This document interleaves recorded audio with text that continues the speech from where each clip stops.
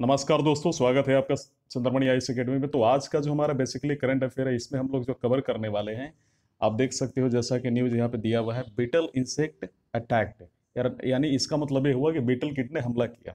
तो ये जो न्यूज़ है हमारे लिए, बिहार स्पेशल है और इस बारे में हम लोग चर्चा करेंगे। दोस्तों, वानखेड़ी रोड या फिर वनखेड़ी रोड इसे बोला जा सकता है, पर महलवाड़ा गाँव में शनिवार की रात एक कृषि किट जिसे विटल कहा जाता है, ने कुछ ही घंटों में कई पेड़ों की पत्तियों को और कोमल शाखाओं को पूरी तरीके से जो है काट लिया। जैसे हम बोल सकते हैं, वो क्लियर कर दिया। और किसानों ने किट को टिड्डी समझकर, जैसे कि अभी हाल ही में लोकस टिड्डी का जो न्यूज़ बना हुआ था तो आपको ध्यान देना है कि अब मुझे आप कमेंट सेक्शन में आप बताने की कोशिश करें कि लोकस्ट टिड्डी जो है, सबसे पहले किस राज्य में इंडिया में अटैक किया और किस महीने में ये जो है खबर आई थी। चलिए आगे बढ़ते हैं। तो किसानों ने किट को टिड्डी समझकर प्लेटों को पिटना शुरू कर दिया। आप जैसे यहाँ के देख सकते हैं, यहाँ पे देख सकते हो कि कुछ ही घंटों में क्लियर किया और यहाँ पे किसानों ने जो है प्लेटों को पीटना जो है शुरू कर दिया स्टार्टेड बीटिंग द प्लेट्स अब यहाँ पे देखना यह है कि ग्रामीणों ने बताया कि गाय के गोबर में उगे गोबर के समान आकार में बड़ी संख्या में छोटे कीड़े थे और सूचना मिलते ही अधिकारी वहाँ के जो लोकल अधिकारी थे उनको बुलाया गया और उन्होंने वहाँ पर पहुंचकर पूरी ही स्थिति का जायजा लिया और इसके बाद फिर कीटों पर सैनिटाइज किया। तो ये आप देख सकते हैं यहाँ पे सैनिटाइज किया गया। अब अगला जो हमारा है कि एक और वहीं पे केस आ गई कि आप यहाँ पे देख सकते हैं active during the pre monsoon. तो यहाँ पे जो बताया गया, वो ये बताया गया कि जनरली कहाँ पे, किस समय एक्टिव होते हैं, ये सारे होते हैं मानसून के दौरान, यानी मानसून के पहले सारे जो है कि वो जो है सामान्य तौर पे आते हैं। और मानसून के दौरान सक्रिय रहने का इनका ज़्यादा दावा किया जाता है। तो एक ब्रिजेश कुमार नामदेव, जो एक एग्रीकल्चर साइंटिस्ट हैं गोविंद नगर के, उन्होंने कहा कि ये जो इंसेक्ट है, ये व्हाइट बिटल है, राइट? इसे क्या कहा जाता है? White beetle. तो आप यहाँ पे देख सकते हैं, व्हाइट बिटल के रूप में इसे जाना जाता है। वहीं पे एक और बात आई कि प्री मानसून के दौरान, राइट? वे अधिक सक्रिय हो जाते हैं और कृषि वैज्ञानिक ब्रिजेश नामदेव ने बताया कि ये ये कीट जो है प्रकाश की ओर आकर्षित होते हैं। तो आपने देखा होगा कि शाम के तौर पे या जब वर्षा होती है तो यहाँ पे हम लोग आमतौर पर उस कीट को देखते भी है। तो वो सक्रिय हो जाते हैं और कृषि वैज्ञानिक ने ऐसा जो है एक होने का दावा किया। तो इसके लिए खेत में मिट्टी के तेल को जला कर रखें, जिसमें कीट गिरकर मर जाएगा, ऐसा उन्होंने ये भी जो है स्टेटमेंट उन्होंने दिया दोस्तों। तो ये आपको ध्यान देना है, ये तो हमारा हो गया। क्लियर। दूसरा जो हमारा करंट अफेयर है, काफ़ी इंपॉर्टेंट है, वो क्या है? द डेक्कन क्वीन ये साइंस एंड टेक के लिए काफ़ी इंपॉर्टेंट है, यानी विज्ञान एवं प्रौद्योगिकी के लिए। दोस्तों, यह मुंबई और पुणे के बीच चलती है। ये ट्रेन जो है, मुंबई और पुणे के बीच फ्लैंक्ड बाइक का मतलब होता है बीच राइट उसके बीच चलती है। अब यहाँ पे ध्यान देना है कि इसका जन्मदिन, जिसे बोल सकते हैं, इसका जो रिकग्निशन हुआ, जब शुरुआती, शुरुआत हुई तो पहले जून को इसको शुरू किया गया था, इसलिए इसको फ़र्स्ट जून को इलिस्ट्रेस इलिस्ट्रेस किया जाता है। साथ ही साथ इससे, इसने एक जून उन्नीस सौ तीस को पहला परिचालन शुरू किया था दोस्तों। याद रखना आपको, द डक्कन क्वीन, राइट? जो हमारा अगला इसमें पॉइंट है, वो काफ़ी इंपॉर्टेंट है, आपको ध्यान देना है। इस ट्रेन में कई रिकॉर्ड हैं, जिनमें भारत की पहले सुपर फास्ट ट्रेन, आप यहाँ पे देख सकते हैं this was the first luxurious train ये तो हम लोग आगे आ गए India first super fast train आप देख सकते हो, साथ ही साथ पहली जिसे आप बोल सकते हैं, लंबी दूरी की electric hand train right long distance electric haul train साथ ही साथ पहली वेस्टी बिल्ड ट्रेन पहली ट्रेन महिला केवल जिसमें महिलाओं के लिए केवल एक जिसे हम बोल सकते हैं ना कि स्पेशल महिलाओं के लिए बोगी है एक ऐसी पहली ट्रेन है। और एक ऐसी उ, उसी ट्रेन में एक और चीज़ है जो काफ़ी एक इम्पोर्टेंट आप बोल सकते हैं स्पेशलाइजेशन है महत्वपूर्ण है उसकी खासियत है। वो ये है कि उसमें क्या है? डाइनिंग कार है भोजन का कहने का मतलब ये हुआ कि वहाँ पे उस ट्रेन में किचन भी है खाने की सुविधाएँ भी है राइट अगर किसी को खाना हो तो उसके सामने टेबल लगाने की भी सुविधा है, डाइनिंग हॉल भी है उस ट्रेन में तो इस तरीके की कुछ सुविधाएँ हैं इसमें। तो अगला जो हमारा है इसमें, पॉइंट वो ये है, यह मध्य रेलवे की अग्रदूत ग्रेट इंडियन पेनिसुला रेलवे यानी जीआईपीआर द्वारा शुरू किया गया था। यह क्षेत्र की दो महत्वपूर्ण सेवाओं को सेवा करने के लिए शुरू की गई। पहले डिलक्स ट्रेन थी। क्या थी? पहली डिलक्स ट्रेन थी। आपको ये ध्यान देना है। साथ ही साथ यहाँ पे आपको एक चीज़ और ये फोकस करना है।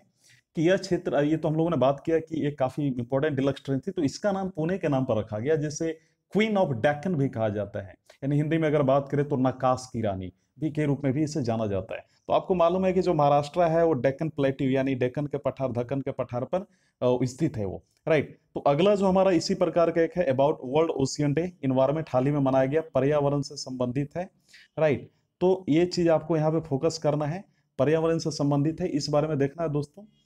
तो ये यहाँ पे जो न्यूज़ आई है, वो ये है और काफ़ी इंपॉर्टेंट भी है कि 8 जून 2020 को इसे क्या किया जाता है? मनाया जाता है डिस्टेंट गेस किया जाता है और इसका जो थीम है, वो क्या है? इनोवेशन फॉर सस्टेनेबल डेवलपमेंट यानी क्या हुआ इसका मतलब?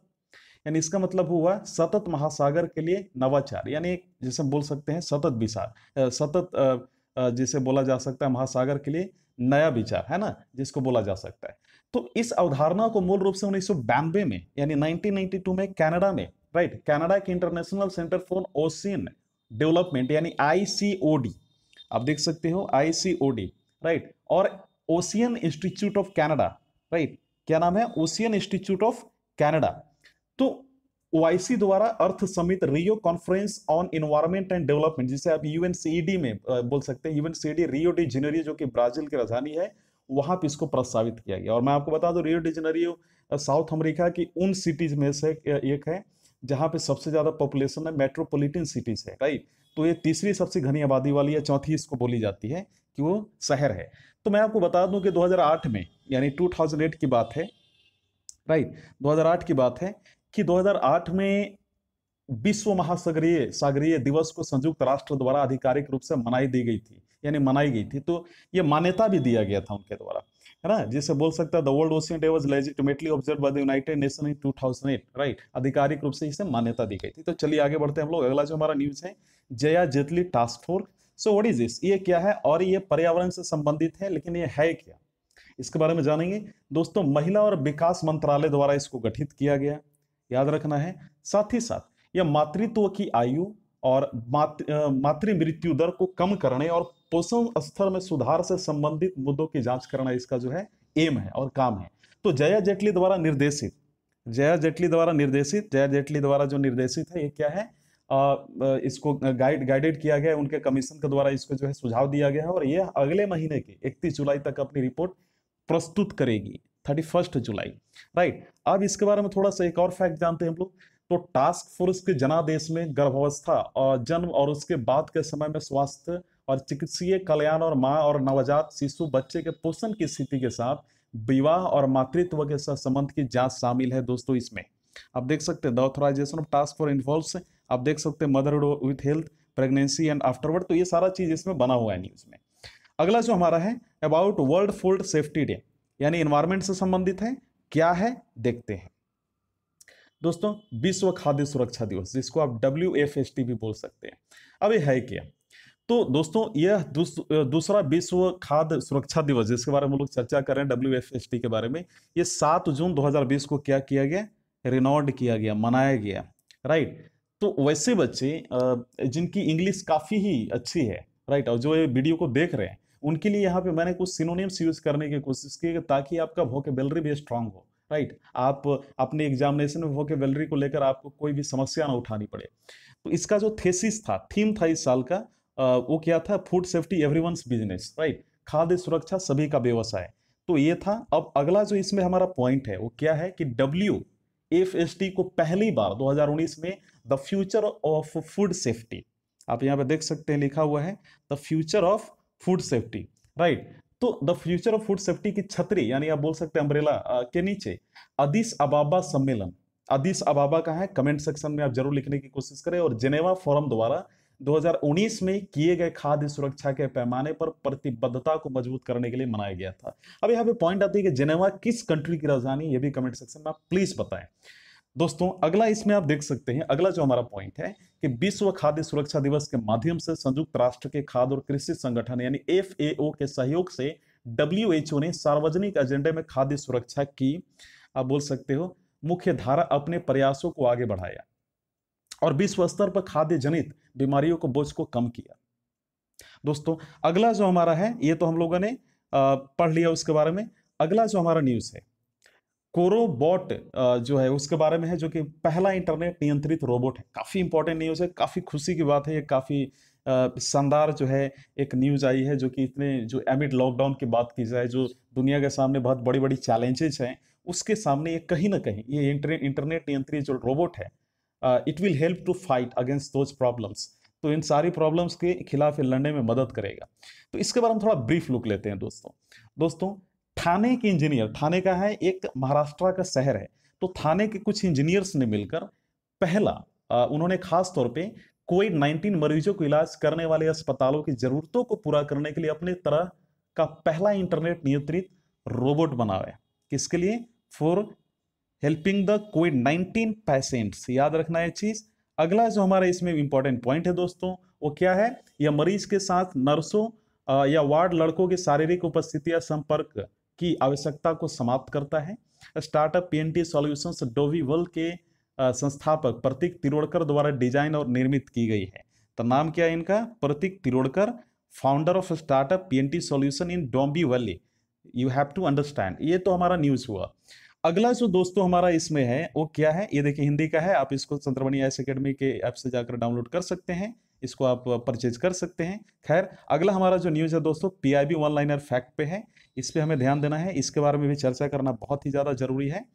तो यहाँ पे देखना इंडियन नेवी कॉमन्स यानी शुरू किया evacuation of citizen from Islamic Republic of Iran with the help of Samudra Setu so what is this we will discuss about that चलिए आगे बढ़ते हैं हम लोग। दोस्तों, भारतीय नौसेना ने इस्लामी गणतंत्र ईरान से नागरिकों को निकाला। किस ऑपरेशन के ज़रिए? समुद्र सेतु ऑपरेशन के ज़रिए। So what is all about we will discuss चलिए आगे बढ़ते हैं। दोस्तों, भारतीय नौसेना ने 8 मई 2020 से शुरू होने वाले, यहाँ पे देख सकते हैं शुरू होने वाले भारतीय नागरिकों को वापस लाने के लिए ऑपरेशन समुद्र को शुरू किया था इन द लास्ट मंथ पिछले महीने। तो भारतीय नौसेना के जहाजों जलसवा और मगर ने पहले ही मालदीव और श्रीलंका के दो हज़ार आठ कर्मचारियों को या कर्मियों को कोच्चि और तुत्ती कुरिन के बंदरगाह से हटा दिया है। और समुद्र सेतु के अगले चरण में भारतीय नौसेना जहाज़ सरदुला होगा, जो 8 जून 2020 को भारतीय नागरिकों को ईरान के इस्लामिक गणतंत्र बंदर अबास के बंदरगाह से पोरबंदर गुजरात के लिए निकाला और इस्लामिक निकालेगा। और इस्लामिक रिपब्लिक ऑफ़ ईरान, आप यहाँ पे देख सकते हैं Islamic Republic of Iran, right?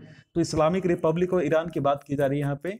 तो वहाँ पे जो भारतीय फंसे हुए हैं तो भारतीय मिशन, भारतीय नागरिकों की सूची तैयार कर रहा है और उन्हें मेडिकल स्क्रीनिंग की आवश्यकता के बाद उनके आने की सुविधा प्रदान करेगा। तो ये तो हम लोगों ने देख लिया पहला न्यूज़ अगला जो है, काफ़ी ही इंपॉर्टेंट न्यूज़ है, वो क्या है?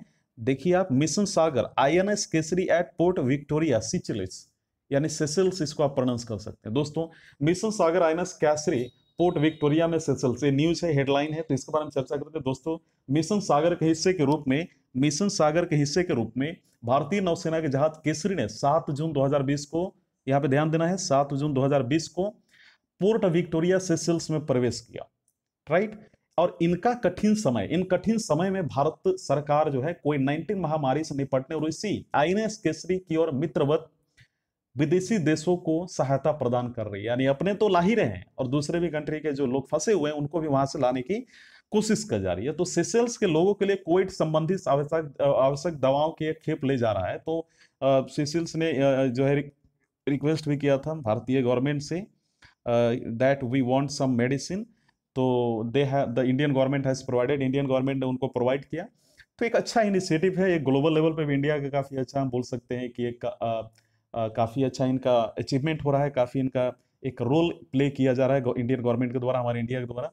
दोस्तों, अगला जो हमारा न्यूज़ है DST releases information brochure on health and risk communication programme focusing on COVID 19 so what is this यह क्या है? यह न्यूज़ के बारे में हम लोग चर्चा करते हैं। दोस्तों हेडिंग है डीएसटी कोविड 19 पर, यानी Department of Science and Technology COVID 19 पर केंद्रित स्वास्थ्य और जोखिम संचार कार्यक्रम पर सूचना विवरणिका जारी करता है। ऐसा हेडिंग है। तो न्यूज़ क्या है? देखते हैं। National Council for Science and Technology Communication right NCSTC और Department of Science and Technology DST जो है ने कोविड 19 जिसको बोल सकते हैं राइट तो कोविड 19 पर ध्यान देने के साथ स्वास्थ्य और जोखिम संसार के लिए हाल ही में लॉन्च किए गए कार्यक्रम awareness on science and health years of awareness on science and health ये ध्यान रखना है राइट तो awareness on science and health यानी यस के लिए सूचना विवरणिका जारी की है और ब्राउसर विशेष रूप से कोविड 19 महामारी द्वारा उत्पन्न जोखिम संकटों आपदाओं और अनिश्चितता के मुद्दों को हल करने के लिए देश में इस तरह की आ, बोल सकते हैं मेगा कार्यक्रम की उत्पत्ति और आवश्यकता पर जानकारी देता है दोस्तों।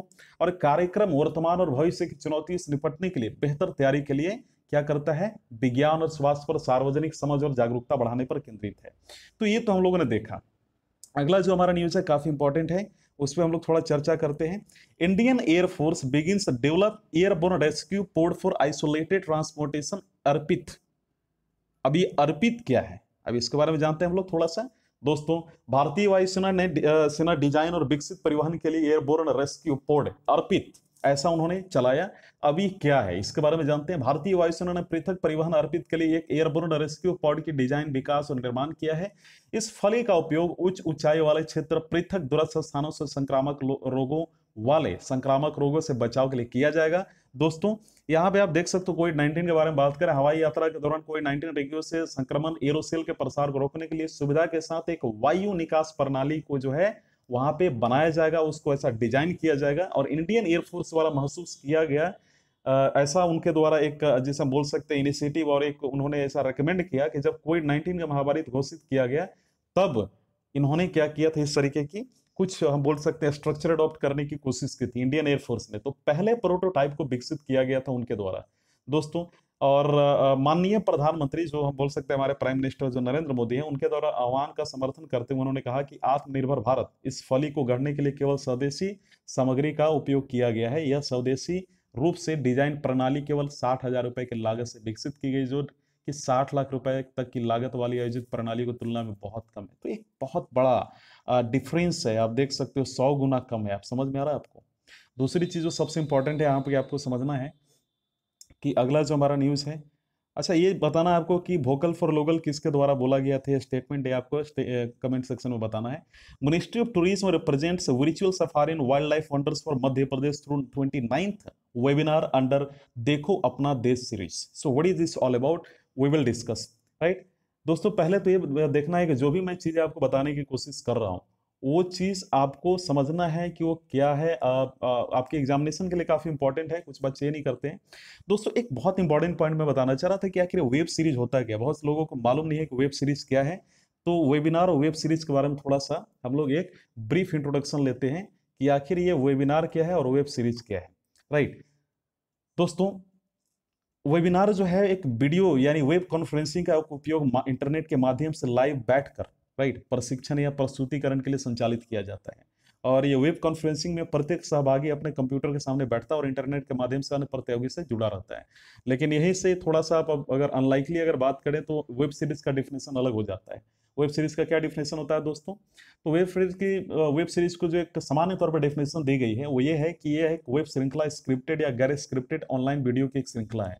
जो आमतौर पर एपिसोडिक रूप से इंटरनेट और वेब टेलीविज़न माध्यम के भाग पर जारी किया जाता है, जो पहली बार 1990 के दशक में अंत में उभरा और 2000 के दशक की शुरुआत में अधिक प्रमुख होता गया और अब धीरे धीरे साल दर साल प्रचलित हो गया है राइट तो ये तो बात थी। हम लोग अगला देखते हैं, जो हमारे लिए काफ़ी इंपॉर्टेंट न्यूज़ है। दोस्तों मिनिस्ट्री ऑफ़ टूरिज़्म के बारे में जानते हैं। तो आपने देखा कि जिस तरीके से हमारा न्यूज़ दिया है, इसके बारे में जानते हैं। तो पर्यटन मंत्रालय देखो अपना देश श्रृंखला के तहत उनतीसवें वेबिनार के माध्यम से मध्य प्रदेश के जंगली आश्चर्य को एक आभासी सफारी प्रस्तुत करता है और ऐसा उनके द्वारा एक कहीं ना कहीं एक हम बोल सकते हैं कि बाई थ्रू दिया गया है। दोस्तों वेबिनार ने दुनिया में सबसे अधिक जैव विविधता वाले समुद्र हॉटस्पॉट में से एक को एक विशाल आभासी सफारी अनुदान जो है प्रदान किया। तो मध्य प्रदेश राज्य जो है, जिसे अतुल्य भारत के दिल के रूप में भी जाना जाता है तो पर्यटन और मध्य प्रदेश पर्यटन पर कोविड नाइन्टीन को प्रभाव को देखते हुए किराए का कारवां, वाहनों का एक अवधारणा शुरू की है। और मैं आपको बता दूँ, आप यहाँ पर देख सकते हो सुकी है, शुरू किया जिसमें सभी सुविधाएँ शामिल है, जैसे कि वेड, बेड हो गया, राइट? आप यहाँ पे देख भी सकते हो, refrigerator, right? Other essential thing जैसे कि हम बोल सकते हैं, अन्य आवश्यक, ताकि लोगों को सामाजिक दूरी के मद्देनजर अपनी यात्रा के लिए होटलों में रहने की आवश्यकता ना हो और इन वाहनों को किराए पर ले सकें। तो ऐसा कुछ न्यूज़ था तो बाकी जो इसमें आप देख सकते हैं पीआईबी या फिर हिंदी या फिर जो इंग्लिश के एडिशन है, आप इसको चंद्रमणि आईएस अकेडमी के ऐप से जाकर डाउनलोड कर सकते हैं। मुझे उम्मीद है कि आपको वीडियो पसंद आएगी। वीडियो देखने के लिए धन्यवाद। इसी तरीके की वीडियो को आप अगर चाहते हैं कि हम आपके लिए लाएँ तो प्लीज़ कमेंट सेक्शन में आप अपनी सुझाव जो है देने की कोशिश करें। वीडियो देखने के लिए